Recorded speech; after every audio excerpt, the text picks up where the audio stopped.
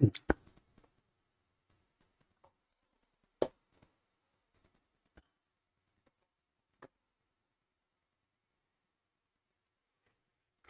morning. Good morning, lovely people. I hope you're doing well on this um, slightly chilly autumn day, uh, Tuesday, the 12th of October 2021. In fact, it is chilly. and I'm going to switch the heating on. One second. One second. Uh, here we go. There we go. What's that? Yes. So, welcome. This is your Yoga Solutions Live, where I um, try and uh, offer you solutions to um, to uh, your your yoga practice. And for me, um, the the same solutions, or there's something about the solutions that reflects into life. And in fact, um, being aware of that helps you recognize an actual solution when you're when like say say say you're having a problem with the posture you know yeah uh, you do dog pose and your shoulders hurt every time you do it. And um, when I when I see people do do that um, one of the things I get them to do is to change the quality of their engagement change the intention behind the thing. Because um, you know, if your if your experience is that your shoulders are tense and your, or your wrists hurt or something when you do dog pose, it's because you're doing it in a way that causes that issue in the first place. I'm not blaming anyone; it's just the way it is. But but um, that will be born, that will be sourced in a way of thinking, and the the way of thinking, for example, with dog pose, is that well, when I do dog pose, I feel heavy. I have to push the ground away, and it's hard work for my shoulders. Um, if you change your mind and change your intention, change the way you approach the thing, and you and you take away that expectation, you take away that initial um, starting point by shifting how you think, you can have an experience where dog pose is completely light on your shoulders. And uh, it, it, it's it's um, the way you think about it will shift. Um, and the thing that makes me recognize the, uh, a new way of doing things as better, uh, apart from it feels better, is that there's a there's a sort of paradigmatic quality to quality to the answer, as in, um, it, well, it was something to do with the way I was engaging with it. It was something to do with the quality of my own touch, something to do with um, I was the, the the feeling that I was expecting the idea of supporting myself to be hard. And when I expect, when I decided that it, um, what I was looking for was ease, then my experience of dog pose changed. So you know the the way I view life, the the way I view things, uh, affects my experience of those things, and and and these broader principles that sort of can be refer can be applied to life, um, when practiced physically and they lead to a, a, positive outcome, for me, that makes the answer a correct answer, if you said to me. For now, um, you know, perhaps that idea won't last forever because it's a, if it becomes another fixed mental impression, then it will interfere. But anyway, I'm, I'm digressing. Um, I had a had a, a suggestion uh, of a posture um, from DL, who's who I've worked with uh, on a few courses and things. Um, lovely woman, great teacher uh, herself. Um, she asked. She asked. Well, the uh, the the comment was happy camel, and I know exactly what she means. Um, she means, I think. Uh, well, I, I, think I do. Um, that how to approach camel in a way that leaves your body happy, and uh, so that's a very good line of inquiry alongside a posture. So let's have a have a look at it. I'm going to put my fluffy thing on the over the mat because um, it involves uh, taking weight through your knees for a while. And uh, yeah so we want it to be comfortable. So let's let's begin So when I'm when I'm offering solutions, my, um, oh, you can't see me. On, let's, um, let's ch change the angle of the camera. That should do it. Can you see me still? Oh, just about. If I move further back, that'd be better. Here we go. Yeah, that'll do. So, um, if yeah, when, when I when I start with looking for solutions for things, uh, well, the first line of inquiry is what's the problem? Uh, yeah, that'll do. So, what people experience uh, in just doing the posture, it's basically a back bend on your knees. Um, is sort of over compression of the lumbar spine and uh, tension around the neck and shoulders, and it's around weight bearing. You know, it's around carrying your own weight. So that's the problem. That's the initiating problem. And you'll feel that is ridiculous amount of effort in your thighs, pinching in your back, and a feeling of sort of feeling un stranded, uh, unsupported. And the bottom line reason for that is because you're leaning back. Right? You're leaning back. And a back bend is not about leaning back. A back bend is about inviting the spine to extend from the upper thoracic. If you lean back, you lean back over the lumbar spine and then the muscles at the front have got the job of carrying your weight, so your thighs, your groins will be too much, and you'll be causing a kind of weight-bearing distortion of the spine, where the whole of the upper half of the body is is kind of have uh, is hanging back over the center of the lumbar curve, and the whole of the body will quite sensibly get tense to prevent you from damaging yourself.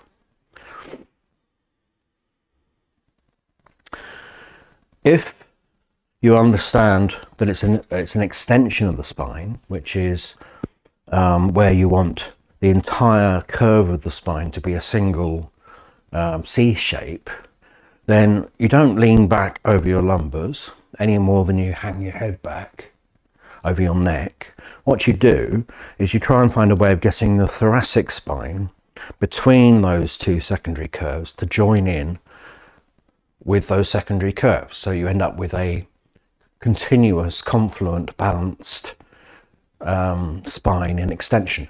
And the way to think of that is to not lean back, but to allow the spine to travel forwards from the base up. Um, if and so if, if we deal, because uh, I'm trying to explain extension, if you put your hand there, you know, slide up your lumbar spine until you meet the, the part where the spine starts to reverse into a, sec into a primary curve. And then from above, slide down your neck until you meet the bump at the base of the neck, which is the beginning of the primary curve. And that section of spine between your hands is a bit of spine that needs to reverse. And you can't really do that with muscles that um, act on that spine. What you can do, though, is organize your weight so that the spine travels forwards. So if you play with that, you'll see that um, taking your weight forwards from the base up, just incrementally, fractions of a centimetre each time, allows the, the thoracic spine to start to join in with the lumbar curve. From above, it's kind of a harder thing because we are used to lifting with our necks. But if you if you try this, uh, take take yourself out of extension, draw your belly back so that you're not holding yourself up with your back. Give that to your touch, the knees and the feet. So it's the opposite of extension to start with. But if you uh, create a confluent flexion curve with ideally not with holding your pelvis down, more with a kind of balanced breathing response from within so that the back can relax and the core can join in with giving your weight to the ground, then you can take your attention to this space between the back of the head and the shoulders, the wings, and if you if they act as wings, if they which you can do by um, grasping a hand, a wrist, resting the forehead on that hand, pull wide, pull wide to activate your wings. Take a breath as if you're catching the breath in the space between the head and the shoulders. And then your job is to kind of empty that weight down to the ground through you, down to the knees, down to the tips of the big toes. So you catch the weight between the head and shoulders. They want to draw away from each other, shoulders wide and back, head resting forwards and down. Okay, take a breath as if it, you're catching it in the space between head and shoulders. Hold it there, and then see if you can roll it down your spine from behind as the as the spine travels forwards from up to down behind you. And uh, allowing the eyes to, the face to be open and the eyes to track a line, you get a sense of how the head coming up is because the spine below the neck travels forwards and down. Um, it's easier to find that in something like dog in dog pose. If you uh, take your hand uh, weight through your hands a little, downward touch. The arms are pressing down through the hands, but the shoulders will move up behind the spine as a result of that if you let them, not down your back, but up behind you so that you can rest the curve of the neck so that you can relax your spine with uh, into the action of downward touch, the action of downward touch through your hands. And then with your head relaxed down, open your eyes and look up through the top of your head without lifting it. And that will help you find the way that the um, the face can sort of lead a movement that gets the spine below the neck to drop through the shoulders forwards towards the ground to cause you to find extension from up to down. Do it with the out breath, it makes it easier.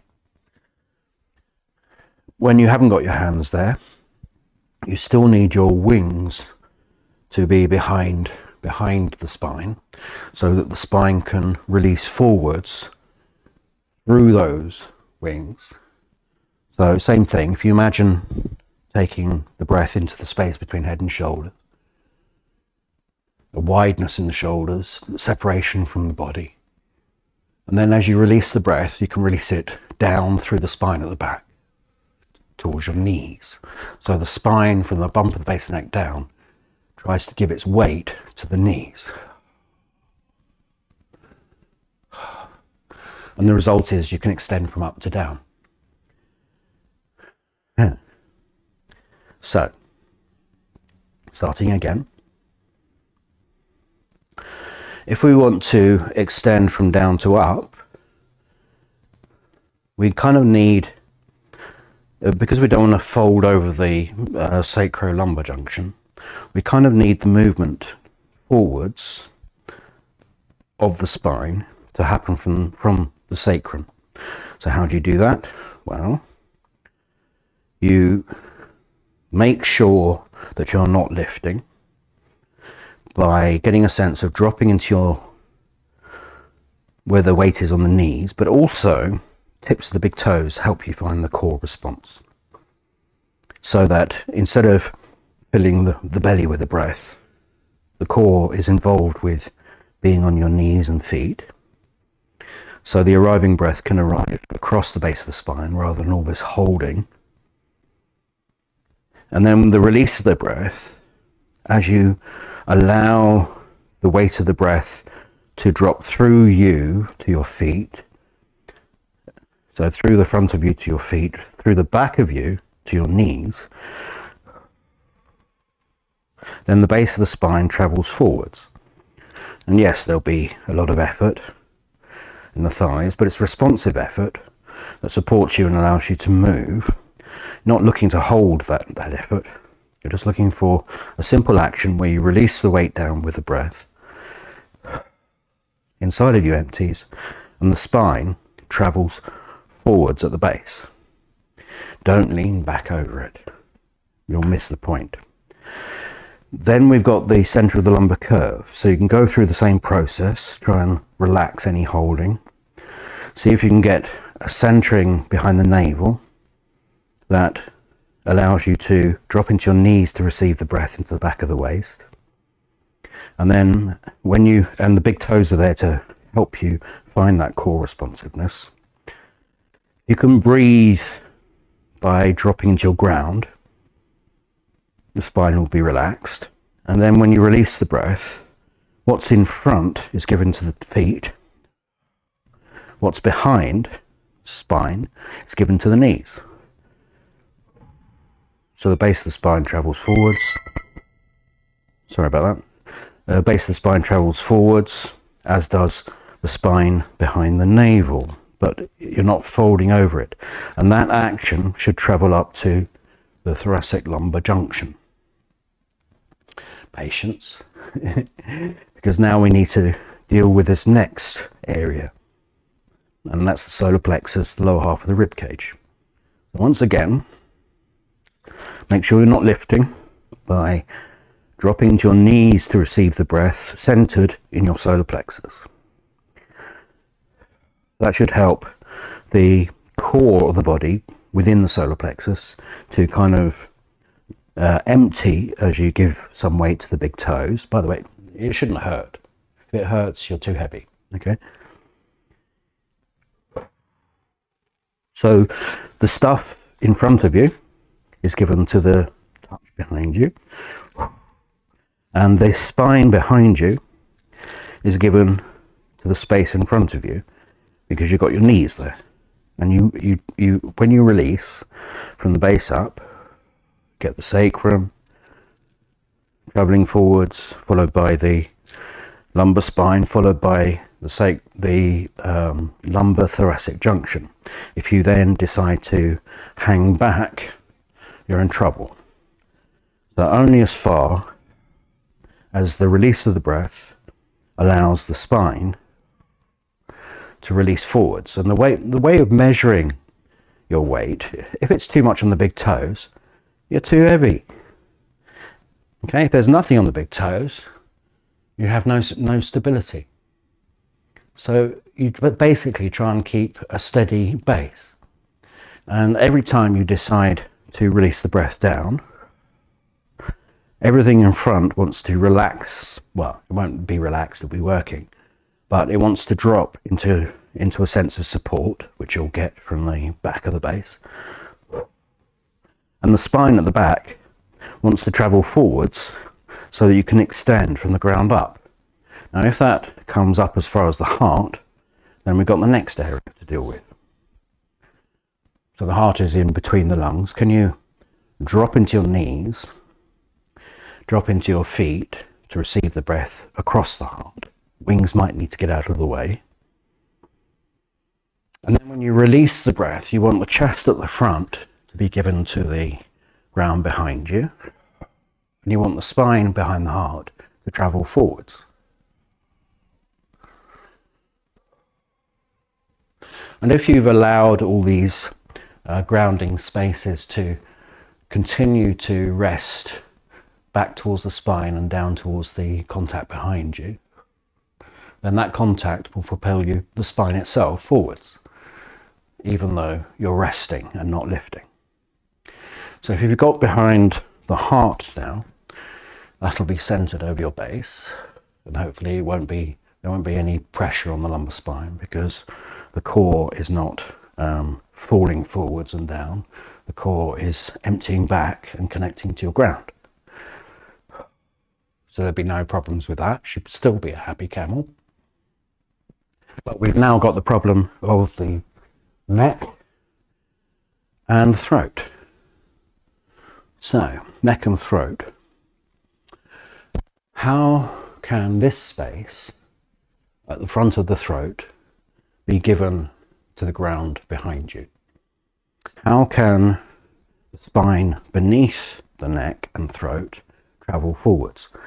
So a relationship to the space above you in your wings, behind you in your wings, a relationship to the space in front of you in your face will give you a throat. Okay, it'll be hard work to start with.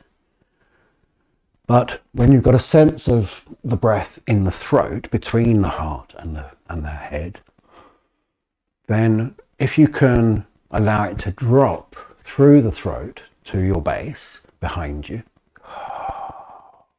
then the spine beneath that gets a chance to be motivated forwards.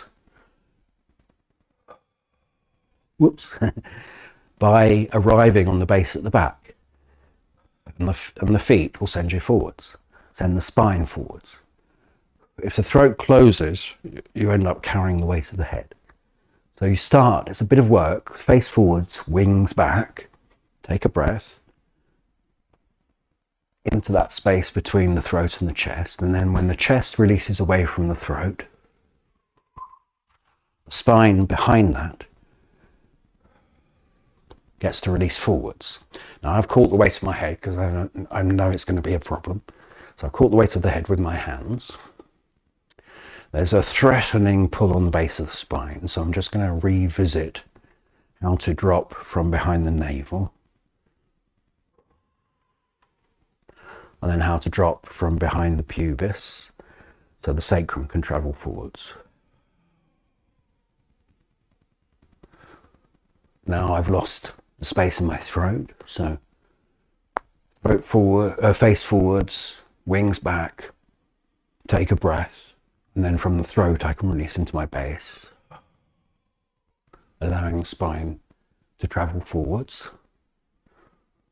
Now I've got the weight of the head. So can I find a way of receiving the breath from above directly into the head and catching it?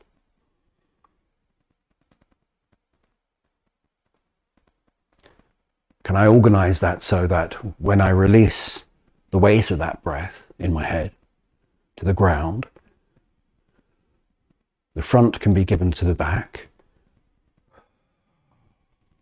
The back is sent forwards to the space in front of me by my base. And if every single chakra, if you like, has a grounded relationship. It won't be in the business of carrying your weight. I still haven't got it quite for my head. So I still haven't quite got it in the top of the chest and the spine beneath it. There it is. So when the whole of the spine is um, released forwards because I release the breath and give weight to my base. My feet catch some of it and then send it forwards. If because I arrive on my base to breathe, the breath supports, cushions me from behind because my core doesn't have to let go of the ground to breathe. Then when I let go into the center of that, the feeling of dropping directly through the heart.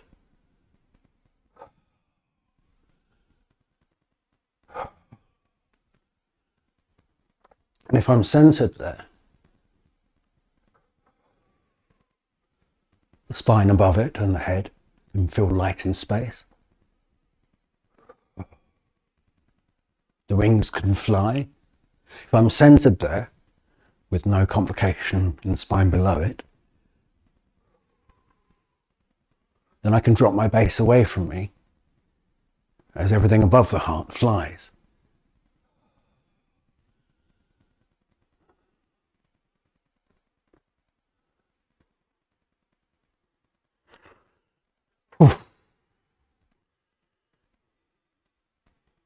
Well, that made me happy.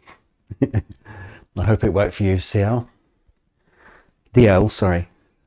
DL, DL Cisco. I would um, just take this into dog pose so that I can find a way of releasing the spine into a flexion state by giving same deal space within wants to find support from the base so knees and feet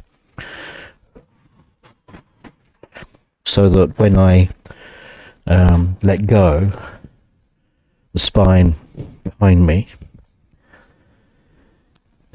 spine behind the heart can be given to the ground and then everything either side of that gets to feel light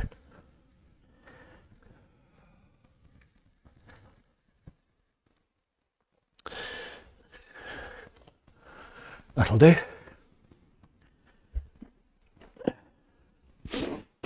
So, um, yeah, hope you enjoyed that. I uh, hope it was useful. Uh, please, please feel free to share it around Facebook for as long as I leave it up. Um, it's between a few days and a couple of weeks, depending on my admin skills. uh, and uh, yeah, then I put it on the website for silver members. Uh, well, all, all my premium members. Um, this weekend coming, what, what's going on? I've got one of my regular um, Saturday morning workshop celebration of the body things. And uh, if you turn up to that, then you can ask a, a question directly.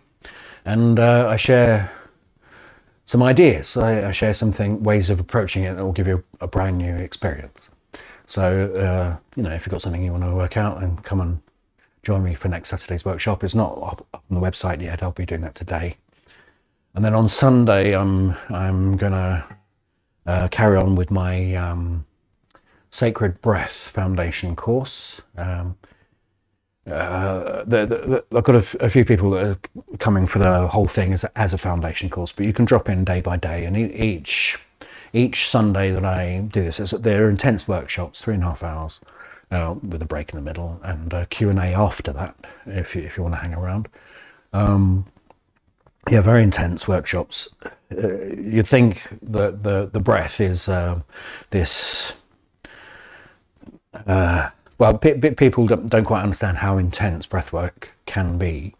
It's not about the intensity of effort, it's about the intensity of experience. And it takes um, deep, deep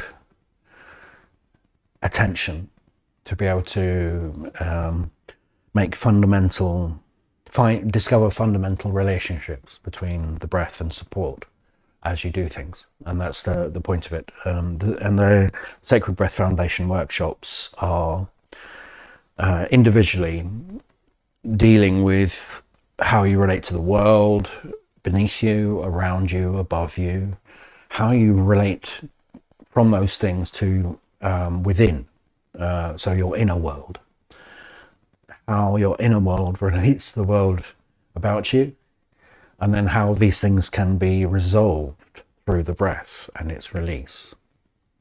And it's uh, uh it's a journey. It's a journey, but any any one of those subjects work as a standalone kind of exploration that will fundamentally shift your practice and possibly your life as well. It, it does that for me.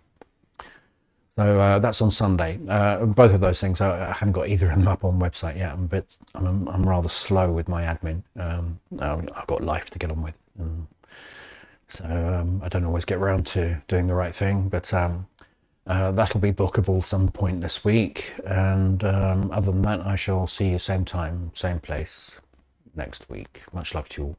Bye now.